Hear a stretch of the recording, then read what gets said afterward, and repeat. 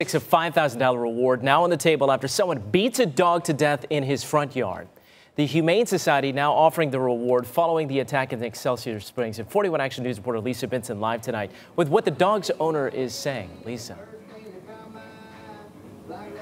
Right now, I'm live in Excelsior Springs, and Snowball was beaten and killed in this yard.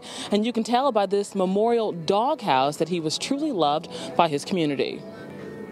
Well, love you, town mascot that was very much loved. He will be dearly be missed. Laura Kingery is overwhelmed by the attention, but remains committed to justice for Snowball. He was bleeding from his mouth real bad, and of course, that was all over him. Someone viciously attacked Snowball last month as he sat leashed in his front yard. The 17 year old dog died three days later.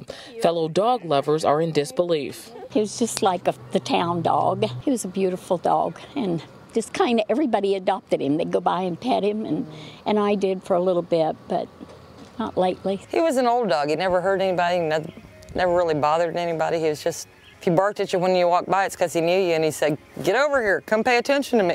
Kingery says whoever attacked her dog had to be sick, but that doesn't ease the pain. Her husband died a year ago. Bob and Snowball were so connected. And then Snowball was my connection. I, I really miss him. And it's now I feel really alone.